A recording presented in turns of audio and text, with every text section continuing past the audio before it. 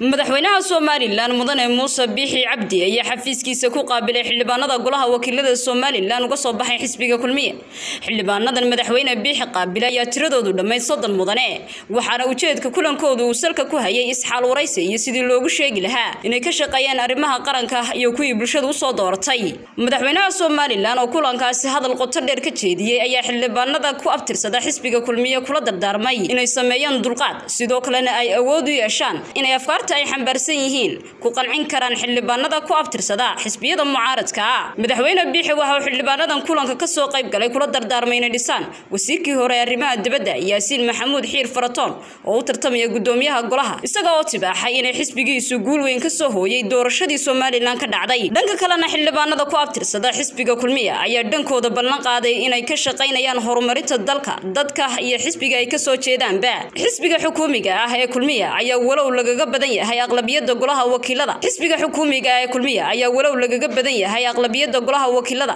Haddana waxa uu dadaal ugu jiraa sidii uu ugu guulaysan lahaa gudoomiyaha golaha oo u sharaxan yahay wasiirkii hore arrimaha dibadda ee somalilan yaasiin faratoon.